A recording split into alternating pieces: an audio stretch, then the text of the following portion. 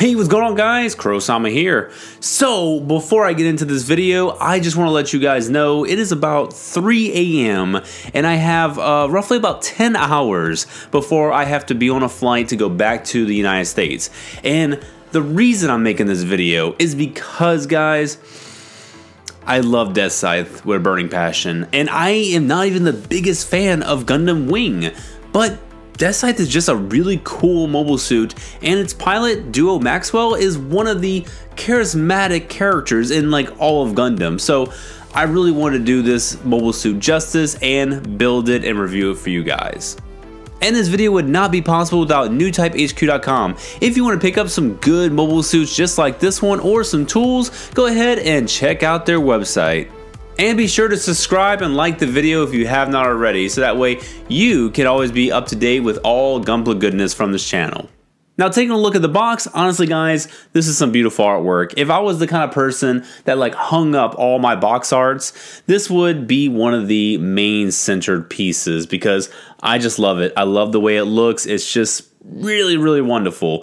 But overall, the box looks fine, no issues whatsoever, and the price point is relatively cheap. You could probably get it for about 16 to about $18 in the US. And here it is finished.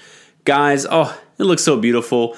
Honestly, the details on this are pretty good. It doesn't have like heavy panel lines and surface level details, but it really does stay true to the kind of proportions as well as the style of the TV version. Now, can't be a one-to-one recreation just because the 90s aesthetic is just so wonky, but this as a modern day model kit it's really what I wanted whenever I had like the old 90s, you know, 1 in 100 scale ones. Those are fine as they are, but this is just something I can really pose and I can put into some decent, just action style poses. So this is just a huge step up.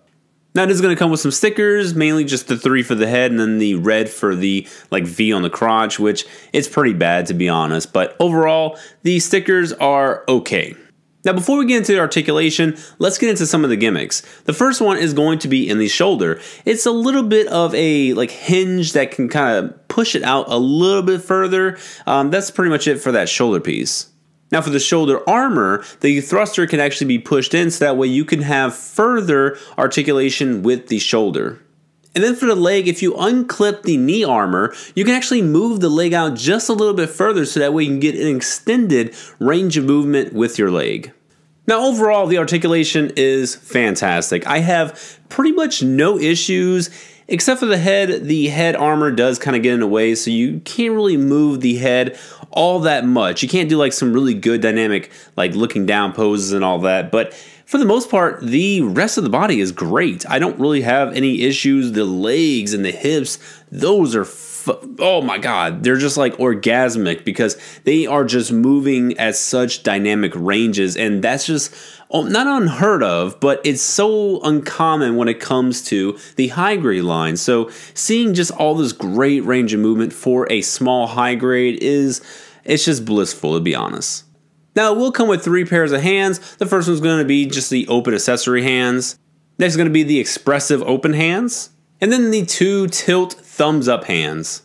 Now taking a look at the weapons, the first one we're going to take a look at is going to be the Beam Scythe. This is just a beautiful, beautiful weapon. Uh, the top part can actually move up and down, and you're going to have two different beam energy blades that can actually attach to it. One's going to be a smaller one, one's going to be a larger one. I'm just going to default go to the larger one, honestly. Then you're also going to have a smaller condensed version, and that's just going to go onto the butt flap. Next I'm taking a look at is going to be the Buster Shield. It looks great. I love the color separation on this. You just peg it right onto the left hand and it's going to come with a beam effect part for this whenever you open the front, kind of like a little scissor parts. But looks great and you can actually put it on a stand so that way you can kind of, you know, emulate it just launching out. Now for comparisons, I don't have too many high grade wing kits, so here it is next to the high grade heavy arms the high grade Leo, and the master grade Death Scythe, which I think is the glory of the losers version, which is kind of like a pseudo or it is a version Katoki because he did design it. So yeah, like a version Katoki essentially. Alright guys, that's pretty much it. I know this is a very short video and I really would have liked to kind of be more in depth with it, but like I mentioned, it's about 3 o'clock now. So I do want to summarize this with an immediate cop it. I don't care what links you're going to have to go to. But this is just a marvelous, marvelous high grade. And I don't really say that about a lot of high grades. Some high grades I really just kind of like say, eh, you don't really need that unless it's the age line. That's a pretty much perfected line.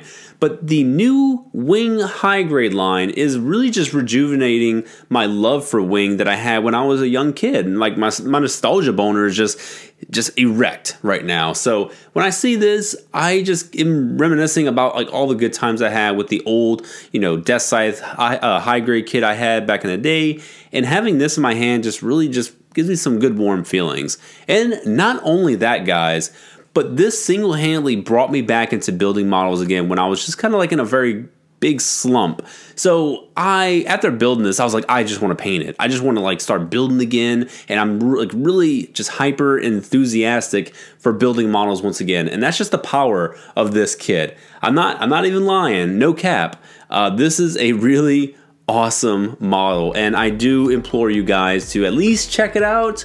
You know maybe check out some other uh, you know reviews or videos or pics but you should probably pick this up and pick it up at none other than newtypehq.com but that's it for me guys. Thank you all for watching. Thank you to the members who have been supporting me this whole time. And thank you all to the discord. You guys are fantastic. But I'll be seeing you guys in about three weeks. All right. I'll see you then Bye bye.